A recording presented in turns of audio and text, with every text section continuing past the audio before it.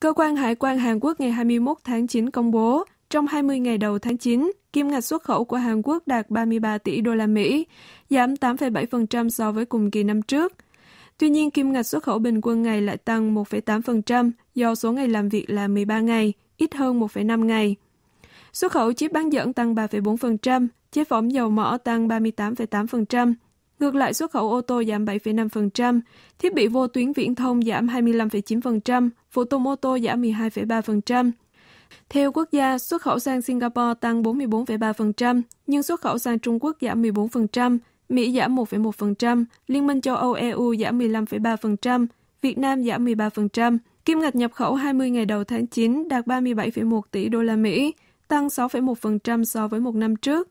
Trong đó nhập khẩu dầu thô tăng 16,1%, chip bán dẫn tăng 11,1%, ga tăng 106,9%. Tuy nhiên nhập khẩu máy móc giảm 5,7%, chế phẩm dầu mỏ giảm 36,5%.